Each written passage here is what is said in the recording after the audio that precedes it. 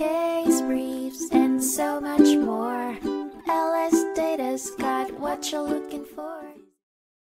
In the 1942 case of Chaplinsky v. New Hampshire, the Supreme Court of the United States addressed the limits of free speech and the government's ability to regulate speech that could pose harm or disturbance to the public. The case involved a member of the Jehovah's Witness faith, Chaplinsky, who was convicted of violating a New Hampshire law prohibiting the use of insulting or annoying words in public. Chaplinsky argued that this law infringed upon his constitutional rights to free speech, religion, and press. The situation leading to the lawsuit occurred when Chaplinsky was distributing religious literature on a busy street, and a disturbance broke out. He was arrested after insulting a city marshal with offensive language. The lower court found him guilty, and Chaplinsky appealed the decision. The Supreme Court upheld the conviction, ruling that the New Hampshire law was constitutional. The court determined that the law's purpose was to maintain peace by only prohibiting words likely to incite violence. They also noted that not all types of speech are protected by the Constitution,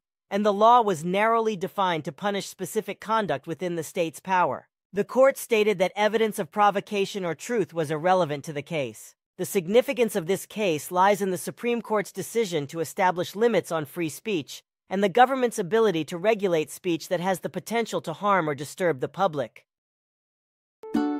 Case briefs, and so much more. LS Data's got what you're looking for. Visit lsd.law, elevate your mind. Leave the stress of class.